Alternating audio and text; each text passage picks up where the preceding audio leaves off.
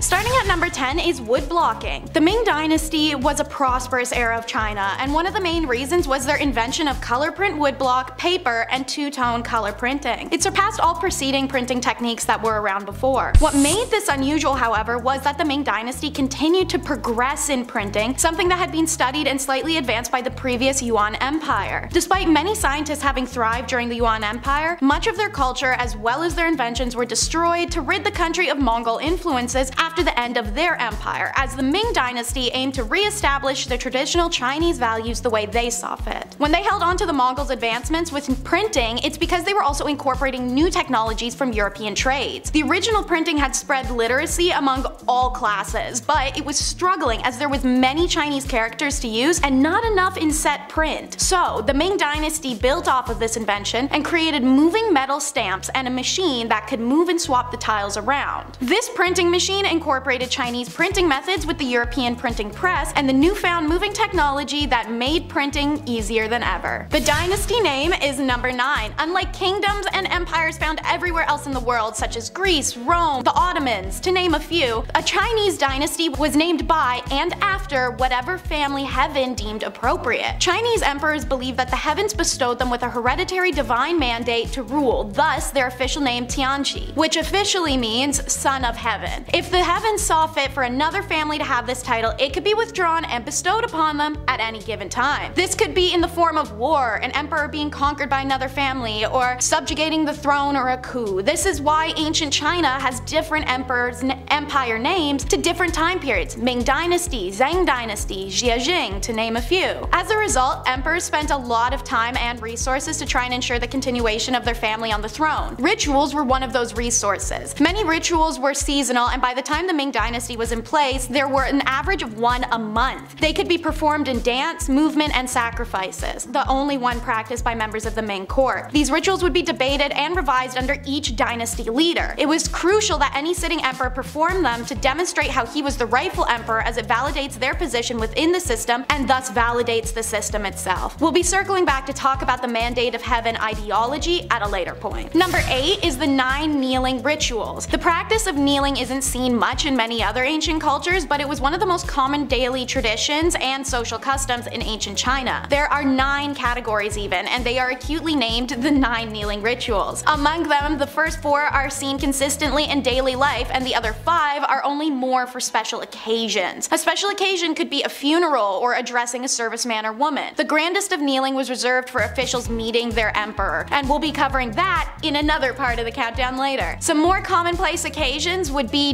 newlyweds kneeling three times in a wedding ceremony, or hosts of an event expressing greetings to all, even how a junior must always kneel to their senior. What started in ancient times as a practical greeting developed into a way to express respect, obedience, gratitude, love, and more. Number 7 is the worshipping of heaven, earth, and ancestors. As I mentioned, rituals were one of the emperor's duties, and annually he would fulfill the religious responsibilities of the Temple of Heaven ceremony. The emperor would make the journey up to the temple. When he worshipped there, it was believed that he was worshipping heaven and the earth as his symbolic parent, upholding the ancient ideology that the emperor was not divine but divinely appointed. This differs vastly from many kingdoms where men would appoint themselves as god status, as you might have heard in a lot of our other videos. This worship was a way to ensure society was in natural order, an aspect of cosmic order of heaven, earth, and society as a three. Also by worshipping his own ancestors at the temple, which is filial loyalty and an obligation of all regardless of social stature, it was believed to strengthen a dynasty hold on the throne. So let's talk more about the ritual in number 6, the three prostrations and nine kowtows. When the emperor worshipped at the temple of heaven, he executed the ritual of the three prostrations and nine kowtows. Under the command of a high-ranking court member of the emperor's choosing, he would be told to prostrate. It's kind of like planking and then kowtow, a type of kneel that would do once, twice, and then a third time. Each time the emperor would be touching his head fully to the ground. Next, he would be told to rise again, then repeat another sequence and another, for a total of three prostrations followed by three kneels. This ritual was important for more than just the emperor. The phrase, from imperial court down to our village, was commonly found in widely circulated documents of the time. That's because a ritual like this could be performed by an ordinary farmer at his father's funeral or a parent blessing their son. People use this ritual, as well as its widespread use, as an expression of interconnection and commonality that broke boundaries between social class and status status. Unique utensil guidelines is number 5. The Ming Dynasty was one of many dynasties to have limitations on utensil availabilities throughout the status rank. Household items weren't just bought and used at random, and oftentimes a piece could have a very specific purpose even for just one dish alone. First up is how precious golds and solid jade wares were only used for the royal family, not even their courts or high status officials. Let me emphasize that again. Solid jade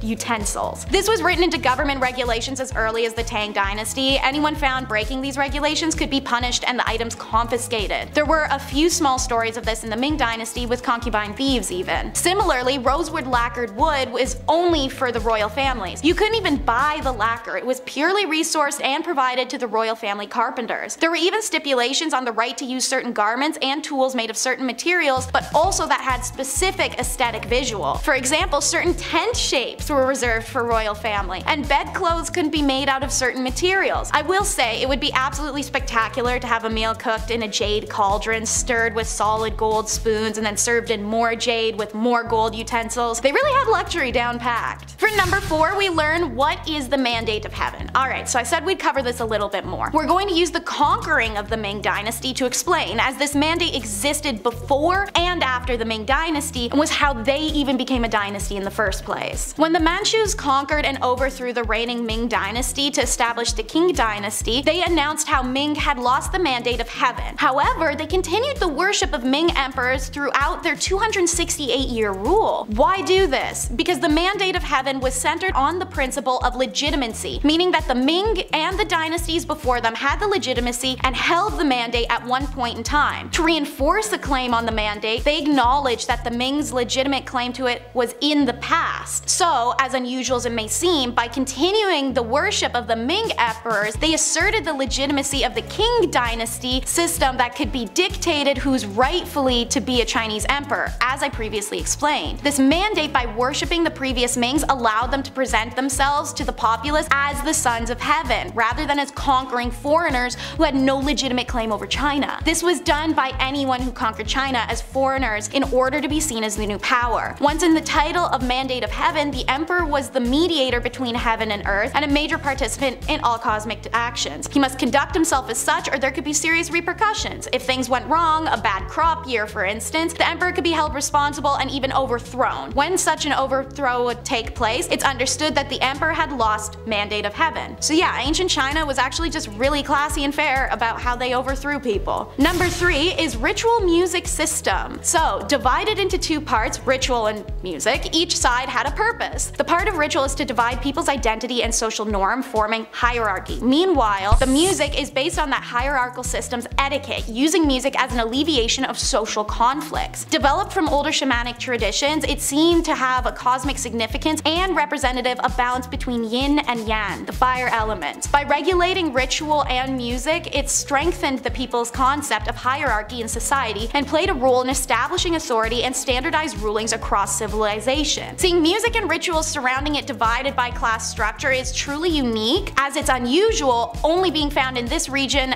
of the world at the time. Dance at the time in China was also associated with sorcery and even shamanic ritualism. Documented in ancient records, there are examples of performing rain dances in times of drought. It was also believed you could communicate between God and man via dance and music. Number 2 is the meeting rites. Who knew meeting someone or introducing yourself could be so complicated? Meeting rites were important and differed per individual, especially as gifts were presented in accordance to this ritual. Ordinary people and officials had to kneel when seeing an emperor, and low-ranking officials did the same when meeting a high-ranking official. To meet an official of any kind, you were to visit their reception and deliver a name card request. You may only see that official if the request was approved. It's all about respect. While the most complicated it would get for officials to meet one another was to do a slight bow and fold their hands in salute, it was a lot more trouble to meet noblemen. A nobleman's host would greet visitors at the door and they would exchange bows before and after entering the doorway. Naturally, dinner would always be provided for a guest before they left, but they did bow to one another before and after exiting the doorway once again. Ironically, commoners actually had stricter greeting rules. They should always move to roadsides to greet officials, and if sitting in a wagon at the time themselves, they must hastily exit at the first opportunity to show respect. They were also expected to have high respect for one another, otherwise they could be punished, especially if meeting rites between the sexes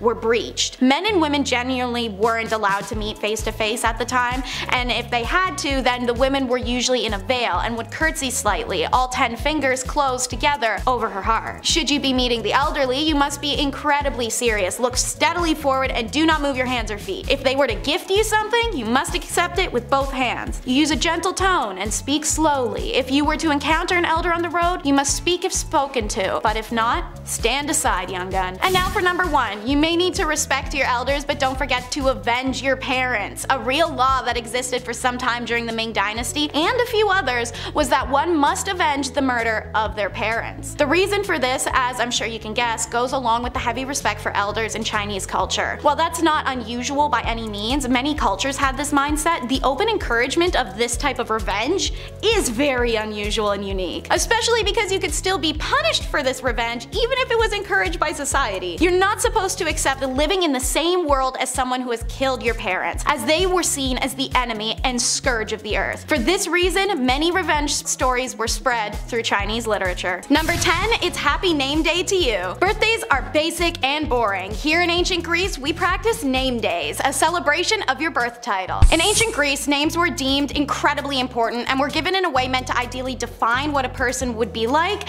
and grow to be. A great example is Aristotle, a compound name with Aristos meaning best and telos meaning end. Pretty fitting and ironic for someone who would become the best philosopher of the time and also have a pretty not great end. Anyways, this importance of names meant that every name had its own special day in the calendar. So instead of celebrating your exit of the womb, you'd wait for whatever day was your given one and coincided with your name, and that's what you'd celebrate. Name days aren't just in Greek culture and can be found in ones such as Eastern Europe and the Balkan regions, and some still celebrate name day to this day. Some of us still get phone calls from angry aunts wondering why they weren't wished happy name day on Facebook. Since it rhymes with wine, number 9 is water it down. We know that many ancient civilizations didn't drink water due to how polluted it was. Whether that pollution was salt or feces, well it varied. Anyways, while many drank beer, the Greeks drank wine. However, drinking alcohol at every time of the day doesn't mean that there's a free pass to be drunk. Quite the opposite actually, as heavy drinking and drunkenness was looked down upon and seen as an embarrassment. This is because the Greeks associated it with barbarism, and many of their gods and their pantheons behaviors and stories also attributed to this. Wine without water was only used as medicine for sick or during travel as a tonic. As a result, the Greeks may have been pounding back the wine, but it was water diluted ratio, so the standard was 1 to 4. They even had a special container for mixing, boiling, and then cooling this diluted mixture. Oh, and by the way, it was seawater they were using, because apparently, to quote, seawater gives the wine a curious salinity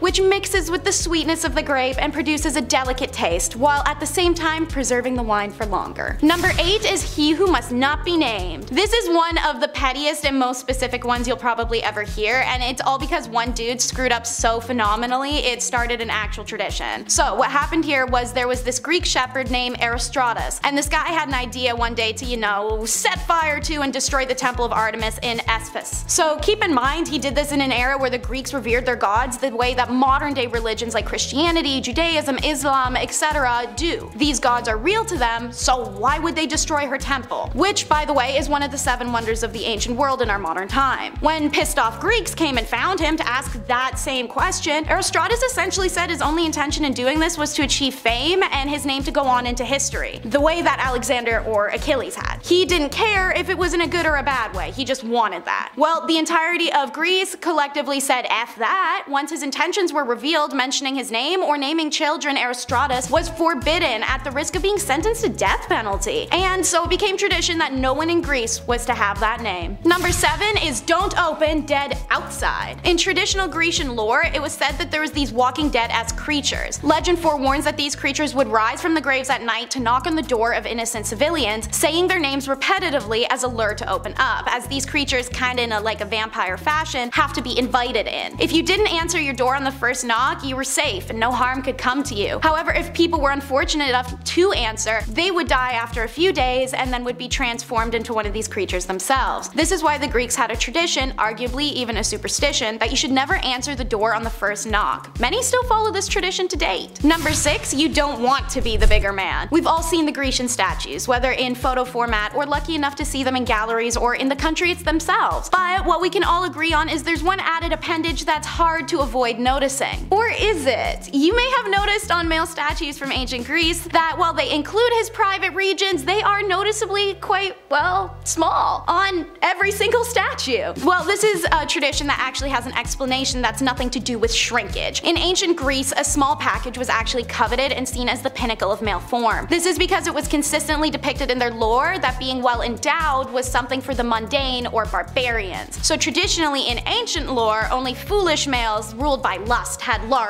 well, you get the idea. Finally, an explanation for the question we've all thought, but nobody said out loud. Number 5 is the dirty gal. And sadly, it is so not in a fun way, rather the opposite. For some wild reason, the Greeks believed women had a really unique susceptibility to the things deemed impure. This is everything gross you could think of. So pus, feces, discharges and secretions, animal dung, rotten foods, the whole shebang. These things affected women in a way they did not affect men. Sure, it didn't mean she was more easily grossed out by it, but it also must mean that it's better for her. So naturally, literal filth became part of the treatments for ladies. One awful example is how a woman suffering from a discharge could be prescribed to drink roasted mule dung mixed with hot wine. If you lost your baby amidst that tragedy, they'd be rubbing cow dung all over you. If you've seen some of our medieval videos, you may have heard about the whole wandering womb concept of the olden times, where people believed that a womb could just wander around inside a woman's body or just vacate it entirely as if it's got little legs. Well, anyways, the whole reason for the cow dung thing is they believe that the womb would be so disgusted by the smell of dung that it would run away and relieve her of the trauma. And so the tradition for terrible filthy medicine for the women of Greece carried on for centuries. Number 4 is another questionable medical tradition, plan sneeze. So this is the fault of one dude specifically. Unlike Estrastratus, he didn't get his name banned forever however. So Greek physician Sonaras was one of the best women's physicians you could find. No concept of how a woman's body worked and full confidence that he did. Perfect combo. He pitched that if women didn't want to get pregnant after, you know, doing it, they should squat, sneeze, and rinse, and just like that, you're pregnancy immune. Well, word spread of this method that allowed people to avoid weird olden contraceptives and not get preggers, so tons of people did it and tons of people got pregnant. Unfortunately, word of it not working did not spread as fast as the rumor that it did, and this tactic carried on in many regions of Greece for decades. Don't worry, Sonaras had a couple backup ideas. He also suggested rubbing honey or cedar resin on your hoo-ha before getting down, which was probably entirely too efficient between the mess and the burning sensation making people just call it quits on the act altogether for a while. Number 3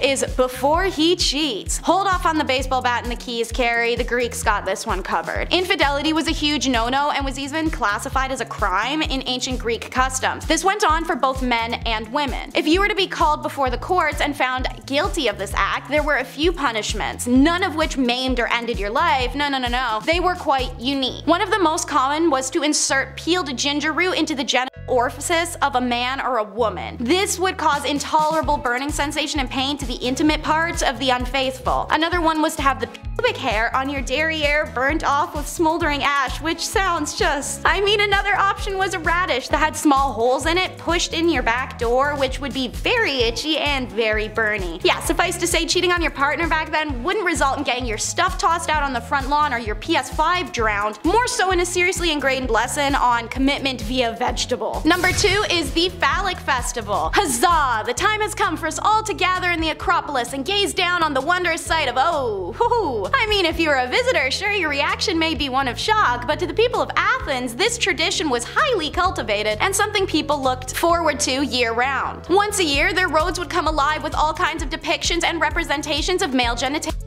this happened during the annual Dionysus celebration, a god of pleasure and wine, where men and women would march down the streets holding giant phalli proudly above their heads as a tribute to their gods, all while drunk out of their minds and on their way in a phallic procession to the temple of Dionysus. According to Aristotle, phallic processions were the birthplace of comedic theater. He claimed that people adapted the jokes they'd yell during the parade processions into full stage plays. So if Aristotle's right, all comedy began with the Greeks carrying giant cartoony dongs songs. And it's number one. The axe did it. Ah, projection, everyone's favorite guilt relief. This fable begins when the Athenians sacrificed foods and vegetables to the gods, not animals. Ironically, this is how they start. An altar for Zeus had been set up holding grains and cakes as a sacrifice, and when a wandering ox came across the altar, it trampled much of it and ate the sacrificial food. Well, like I previously mentioned, their gods were very real to them, and a man named Thalon, in anger, then killed the ox with an axe. Thalon was the first Athenian in the city to to have killed an ox and he fled, leaving the axe behind at the crime scene. The witnesses to the scene were shocked by the event and moved to prosecute Thelon for the murder of the ox. Despite his absence, they held a trial to charge Thelon, but it still didn't resolve the sense of communal responsibility for the murder of an ox going on without justice. An oracle spoke up, telling the Athenians they should eat the ox in a feast and repeat the sacrifice every year to compensate. So the next year, a group of ox were to be led to the original altar. Whatever one ate from the altar, that was the one to be killed. He was struck with an axe and then killed by a member of the Athelonian family, who would then throw the axe down and run away just like their ancestor. The other participants in the ritual then butchered and skinned the animal with a sacrificial knife and feasted on the meat. This could not be the end of the ritual, however, because a crime had been committed. The ox had been slain, just like before, so it's back to square one with another trial. Since the ox slayer had to flee, the girls who brought the water for sharpening the weapon were charged. Their defense was that those who actually sharpened the axe and knife were more responsible. The sharpeners in turn charged the man who gave them the axe and knife, and then that guy, he charged the butcher. But the butcher claimed the knife was more guilty because it did the cutting, and since the knife could say nothing in its defense, it was found guilty. And then the knife was banished by being thrown into the sea. To conclude this bizarre ritual, back on Acropolis, the skin of the ox was stuffed, stood up, and harnessed to a plow, restoring it to its pre-sacrificial condition. And so they did this every year for centuries, the end. Starting off in our number 10 spot we have Wards of the King. This messed up marriage tradition comes from the Dark Ages, the medieval times, and during these times, since people were seen less as people and more as what they can provide, orphans who were wealthy female heiresses, as well as wealthy widows, all became wards of the king. That is dark in itself, but since marriage is all about money, the king used these people to his advantage. These women could be married off to the men of the court who wanted to increase their wealth and land, or a lord who would also be able to sell her marriage to the highest bidder in order to make up for the loss of income she would have provided. If one of these women went and married someone on her own accord, she would then lose the money that was rightfully hers. How absolutely backwards is that? In our number 9 spot today we have the bridal bouquet. The bridal bouquet is definitely a classic staple in western society now, but it wasn't always just a nice aesthetic touch. The idea of the bridal bouquet has a much different history. It is said that ancient Greek brides would often wear wreaths of mint and marigold meant to serve as an aphrodisiac for the newlyweds, but I want to take us over to the Middle Ages. During this time, things and people were filthy. The concept of hygiene didn't really exist in the way that it does now, and this meant that people were usually pretty smelly. This is why it became tradition for brides walking down the aisle to carry a bouquet that was full of herbs like dill and garlic. The bouquet served as a sort of deodorant for the bride, and it also worked to ward off evil spirits. Sort of like an awesome two for one deal right there in one bouquet. Dill was also like a triple whammy because apparently it too is considered an aphrodisiac, so having some on hand post nuptials pre consummation was just the icing on the cake for the pair. In our number 8 spot today we have the bridal veil. There are a lot of historical wedding traditions that have to do with warding off evil spirits. People were really concerned about that back in the day. This is one of the major factors behind why the bridal veil was created. Back in Roman times, the veil was actually a red sheet called a flammeum, which was meant to look like fire so as to scare off any evil spirits that were lurking around. In Greece, the veil was often yellow for the same reason. Over time, the color changed, but the intent remained the same. It was worn as a sort of protection. In the end, another reason for the use of the veil was to assist in arranged marriages. What I mean by this is that back in the day, when marriage was simply more of a business exchange than anything, sometimes veils were used to hide the identity or appearance of the bride from the groom. Definitely not the most kind tradition there's ever been. In our number 7 spot today we have wedding rings. Both wedding and engagement rings are common in our society today, but this practice has been around for quite some time, although it used to mean a very different thing. The tradition of wedding ring exchange can be traced back to ancient Rome, but it wasn't an exchange that happened between partners at the wedding ceremony, and was instead something that was given by Roman men to the the father of the bride as a symbol of his purchase. This practice later evolved into the bride being given a gold ring that she would wear, which was meant to symbolize the fact that the groom had placed his trust in her. He was trusting her with his property. As for the reason we wear rings on our fourth finger, well, rings have been worn on many fingers throughout history, but the reason why this finger was chosen was because it was believed that the fourth finger held a vein that led to the heart, which in Latin was called the vena amoris, or the vein of love. In our number 6 spot today we have the bridal auction. Ancient Mesopotamia had a slew of rules and customs regarding marriage. There's one thing that the Roman historian Herodotus recorded quite well. While many of his stories are largely unreliable, this is one ancient wedding custom that has thankfully been lost to time. The bridal auction was exactly what it sounds like. It was an annual market where young, available women were auctioned off to be married. Those who were considered more beautiful were auctioned off first, and those who were deemed less desirable were auctioned after, along with a quote monetary compensation which was said to make up for their appearance. Harsh. Some of the most wealthy men in the area would come to the auction to find the most attractive girl possible, but even some of the men without a bunch of money came to bid a bit later in the game. In our number 5 spot today we have wedding baths. This is one of the most serious of all of the wedding traditions that were seen in ancient Greece, and it was a key part of the pre-wedding rituals for brides-to-be. This ritual bath involved water being carried in a special ceremonial vase called the lutrophore to the bride's chamber for this bathing practice. This ritual was actually so important to the people of the time that much of the time, should a young woman meet an untimely fate before being married, they would still perform this bathing ritual on the woman post-mortem. Sometimes they would even be buried with the ceremonial vase as well, even though they had never had the chance to marry. This ceremony was intended to purify the bride and also to enhance her ability to have children. It was seen as the most important milestone in a girl's journey from adolescence into adulthood. In our number 4 spot today we have courtly love. So we've discussed a bit about how medieval marriages were mostly about the transferring of wealth and land and really didn't have much if anything to do with love. This would obviously be a less than ideal way of living, so to make things a little more bearable, there was the practice of courtly love. This of course was for members of the court and it allowed lords and ladies to experience love despite their marital status. This was actually a huge hit and so many people became involved that there ended up being a list of rules posted, one of which included the rule, marriage is no real excuse for not loving. The courtly love saw people doing things such as dancing and giggling, and if they really wanted to get a little risque, they'd even hold hands. Sex, of course, was forbidden, however, because there are some boundaries while you're married, alright? It's just sad that people were in these loveless marriages and had to resort to things like this, all because they simply weren't allowed to marry for love. I am glad though that they were able to have some kind of freedom, I guess.